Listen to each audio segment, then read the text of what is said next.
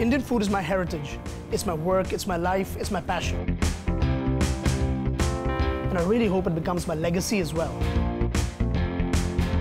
I've eaten food the world over, and I really like it. But it's the thought of eating robust Punjabi tandoori duck that really gets me hungry.